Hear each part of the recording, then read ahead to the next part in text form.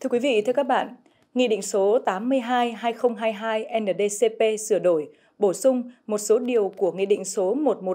113-2017 NDCP về luật hóa chất, trong đó có bổ sung quy định hàng năm các cơ sở hóa chất phải tổ chức diễn tập phương án ứng phó sự cố hóa chất đã được xây dựng trong biện pháp phòng ngừa, ứng phó sự cố hóa chất với sự chứng kiến hoặc chỉ đạo của đại diện cơ quan quản lý chuyên ngành địa phương. Quy định này nhằm khắc phục tình trạng nhiều cơ sở hóa chất sau khi xây dựng biện pháp phòng ngừa, ứng phó sự cố hóa chất nhưng không tổ chức diễn tập ứng phó sự cố. Thực hiện chỉ đạo của Thủ tướng Chính phủ, thời gian qua Bộ Công Thương đã phối hợp chặt chẽ với Ủy ban Nhân dân các tỉnh, thành phố và các cơ quan, đơn vị liên quan trong việc đẩy mạnh các biện pháp phòng ngừa, ứng phó sự cố hóa chất. Liên quan đến phòng ngừa, ứng phó sự cố hóa chất thì nó có ba cái trụ cột quan trọng. Thứ nhất là cái ờ, hệ thống về văn bản quy phạm pháp luật chúng ta có từ luật hóa chất. Ở dưới luật hóa chất thì chúng ta có nghị định. Ở đây là nghị định 113 năm 2017 rồi sau đó là nghị định sửa đổi ờ, số 82 năm 2022 và dưới các nghị định thì là các thông tư về quản lý hóa chất. Ờ, bên cạnh đó thì cái cái trụ cột thứ hai rất là quan trọng. Ở đây thì chúng ta có Ờ, cái công tác liên quan đến việc ờ, quản lý tại trung ương ờ, mà hóa chất của bộ công thương là cái đơn vị chủ chốt phối hợp với các cơ quan thuộc các cái ngành và các bộ có liên quan khác. Ở địa phương chúng ta có 63 sở công thương thuộc 63 tỉnh, thành phố là đơn vị chủ trì,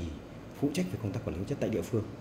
Với một cái hệ thống quản lý hóa chất được xây dựng một cách đồng bộ như vậy để đảm bảo cho cái cái cái cái việc ờ, quản lý cũng như là ờ, kiểm tra, kiểm soát nó được thực hiện được một cách nhuần nhuyễn. Ờ, chúng ta còn một cái trụ cột thứ ba rất là quan trọng, đó là việc nâng cao năng lực quản lý của các cán bộ quản lý nhà nước. Rồi công tác tuyên truyền, phổ biến về luật pháp cũng như là nâng cao cái ý thức về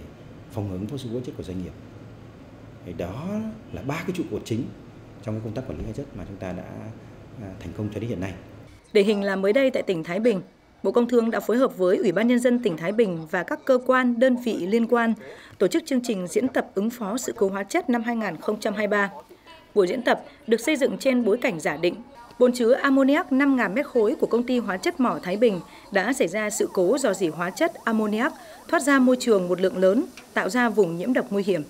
Hóa chất này thoát ra rất mạnh ở dạng lỏng, kèm hơi bốc cao, tràn ra khu vực đê bao có nguy cơ phát tán mạnh, gây mùi khó chịu, lan sang khu vực xung quanh và các khu vực lân cận, nguy cơ ảnh hưởng trên diện tích rộng theo hướng gió nếu không được ngăn chặn kịp thời.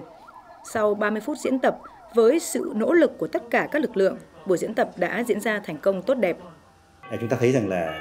cái việc mà à, đẩy mạnh công tác phòng ngừa ứng phó sự cố chất đóng một vai trò rất là quan trọng. Cái thông qua cái việc này chúng ta có thể nhận diện được những cái nguy cơ về mất an toàn, nguy cơ xảy ra sự cố. Thì qua đó là trang bị cũng như là hỗ trợ cho các doanh nghiệp làm sao mà để giảm thiểu cái nguy cơ đó cũng như là diễn tập khi mà nó xảy ra sự cố chất thì khi mà chúng ta chuẩn bị tốt cho doanh nghiệp thì chẳng hạn mà có xảy ra sự cố chất thì bản thân doanh nghiệp bản thân các cơ quan quản lý có liên quan ở đây như là phòng cháy chữa cháy này lực lượng y tế cũng sẽ có cái sự hiệp đồng tốt hơn đối với doanh nghiệp để ta giảm thiểu cái nguy cơ về sự cố chất.